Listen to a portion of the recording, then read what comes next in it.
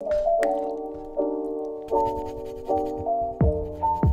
guys, LookCatchu here and oh, this is the soup recipe of the longest living family in the world. And today we're gonna see if it's any good. Now apparently this soup will make you live until 100 years old. Oh, so come back in 100 years to see the results. Am I still here?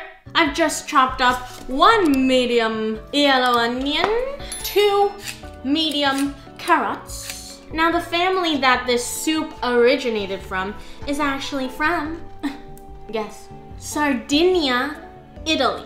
And it's basically a family with nine siblings. Put all the ages together of each sibling, guess what it equates to. 861 years, okay? They are the Guinness World Record holder for the longest lives ever. And the Melis family eats this soup every single day from the moment they were a wee little fetus till little old grandma. They also pair it with sourdough bread as well as a quarter cup of wine red wine. They said that the wine just helps them enjoy the meal better. If you enjoy the meal, you will live longer because you are less stressed. I don't even think I would eat chicken wings and french fries every day, even though that's my favorite dish in the world. Also pizza. Specifically Pizza Hut. And Domino's Domino's. And Papa John. Papa. Next up, we have celery.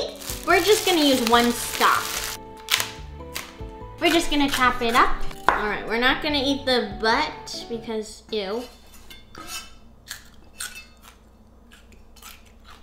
And it's the fennel countdown. Do do do do. This is a PSA to be very careful while handling a knife. Kamsahamnida. All got a beautiful latex glove. This is a fashion statement. It is not because I just cut myself very deep.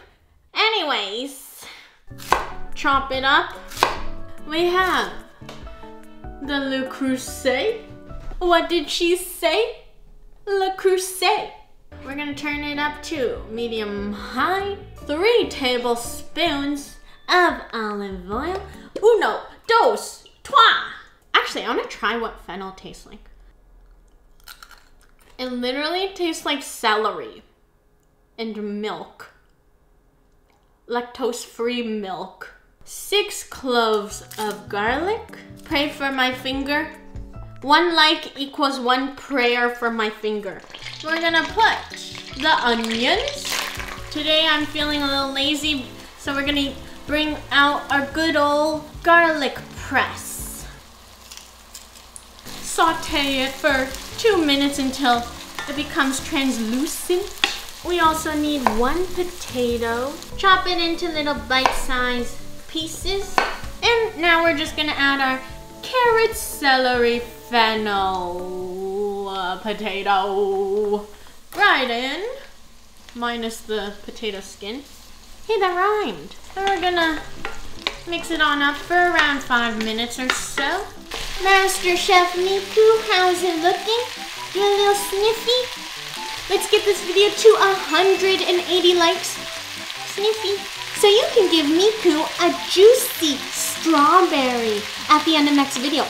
Now is time for our crushed tomatoes. 800 milliliters. And we're gonna add four cups of water. We're also gonna add around half a teaspoon of salt and half a teaspoon of fresh cracked ground pepper. Alert, please help me. We're gonna let it simmer for 20 minutes. now the recipe also asks for flat leaf lettuce. Lettuce? Oh my goodness. I blame the finger. Do I look like Picasso? I mean, Michael, Michelangelo? What is this called? Parsley. This is around a quarter of a cup. Just roughly chop it. As well as Walmart basil, 14 grams. For today's snack, pistachios. What is this? This is obviously a salad. Mmm. Yummy. We got fava beans. now, I don't know about you guys, but I love lots of beans. But these beans are my fava. We also need pinto. And finally, chickpea. According to dietitians, if you eat half a cup to a cup of beans a day, you'll live longer. 20 minutes is up. Let's add in our beans. One cup or half a can. We got our pinto, yuto, mito, pinto. One cup as well. Fava.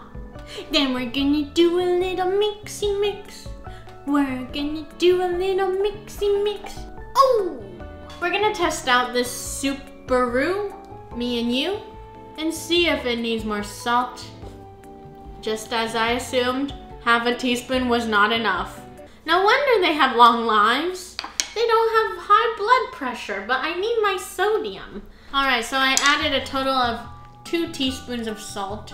Five minutes have elapsed. The recipe calls for Sardinian fregula. Aw oh, man, I ran out of my Sardinia fregula. What does a girl do?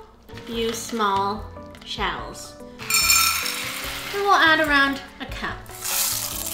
All right, we're just gonna mix it up. Take a guess what kind of soup we're making. This is, I'm waiting, minestrone. Okay, we're gonna add a cup of water because the soup is a bit thick for my liking. And we're just gonna let it cook for seven minutes. All right, the pasta's fully cooked. Turn off the heat. And we're gonna add our freshly chopped parsley and basil. We're gonna do a little mixy mix, fold it in. Final touches we need pecorino romano. Just say when. When. And now, let's head to the taste test. Wow. All right, so this is the finished product. And I'm super Oh, we shall get all the cheese in the middle.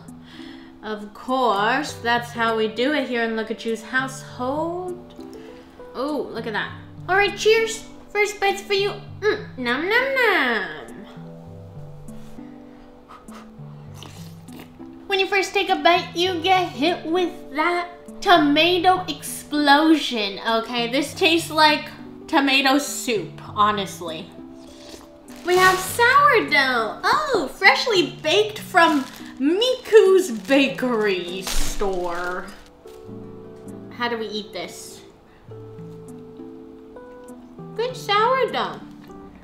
I like hmm, beans and chili. My chili, more specifically, is the best chili in the world. This is like a chili wannabe without the seasoning. Wait, why am I doing this? I I really want a burrito. I really want a burrito. and on the LookCatchu scale, I would rate this long life soup a 7.5 out of 10. would I make this again? Wait, I meant to say, mm? No, I would not make this again, okay? I will stick to my pot of chili. But if you're a fan of minestrone, minestrone. Try this out, okay? And I'll see you guys next time. Miku gets spring mix salad. Eat.